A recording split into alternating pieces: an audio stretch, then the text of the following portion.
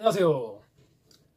소형견 산책에 관해서 좀 다뤄달라고 그래가지고 푸른 아나로그님께서 제가 답변 드렸거든요. 영상으로.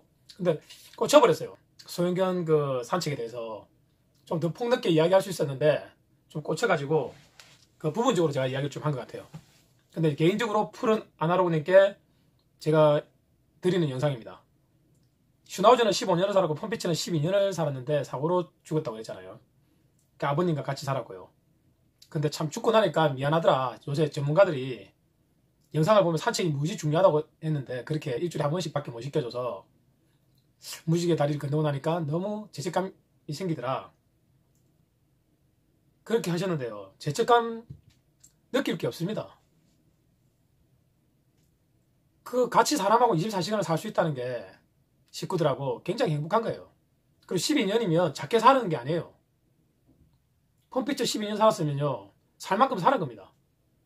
물론 사고가 안 났으면 조금 더 3년 정도 더 살 수도 있었겠죠. 아주 건강했다면, 다른 병이 안 생겼다면. 근데 건강하고 사, 그 사고가 안 나도 12년 살면 그 장수한 거거든요.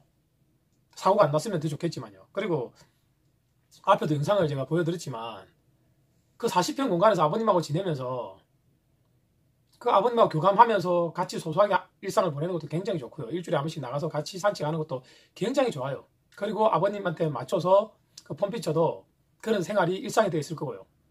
그리고 또 다른 가족이 오거나 식구가 오거나 아니면 아버님이 시간 되면 공을 던져줘서 물어 놀기도 하고 아버님 일어나면 잠, 잠자고 일할 시간을 기다려요, 걔들은. 그 시간 알아요. 꽝! 해야 합니다. 막! 합니다. 아니면 문 앞에서 가만 앉아 있어요. 아니면 앉아서 이렇게, 이렇게 긁어서 소리를 내요. 아니면 이렇게 기침을 합니다. 한번 아니면 멍 해놓고는 기다립니다 또. 아버님 먼저 불러달라고.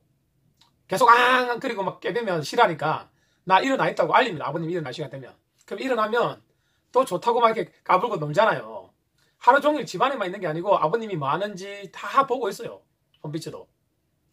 밥 줄 시간도 알고 그 시간도 기다리고 또 꼬리 치고 흔들고 뺑뺑 돌면서 신나하고 굳이 공을 던져주고 이렇게 활동량을 늘릴 수도 있지만 그게 아니어도 하루 그냥 생활하는 게 충분한 운동량도 되고요. 그리고 또 아버님이 또 안에서 놀아줄 수도 있잖아요. 여러 가지 방법으로 놀아줄 수가 있거든요.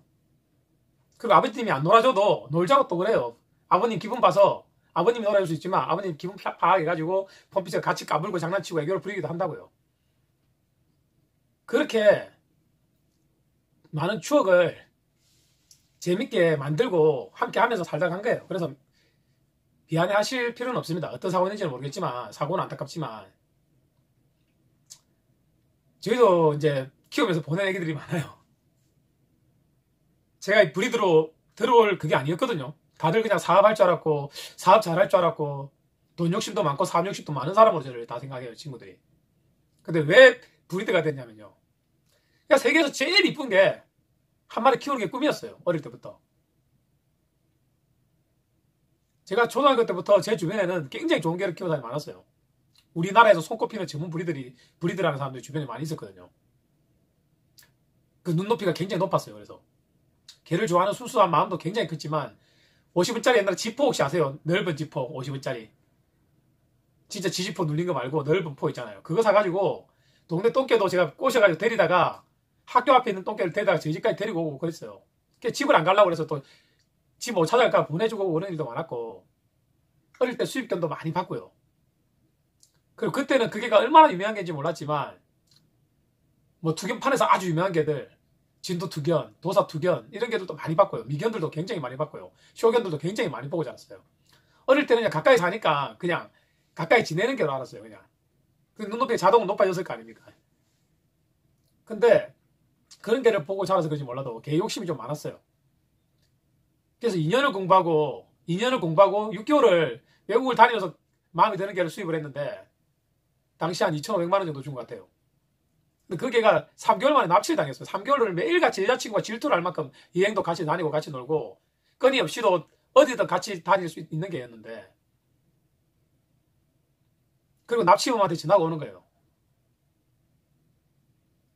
그 3개월을 잡아 다녔습니다. 공주진에서 전화 오면 바로 어디에 떴는지 형사한테 연락받고 추격을 하고 저는 항상 사업을 하면서 추리닝에 운동화를 꼭 신고 기다리고 있었어요.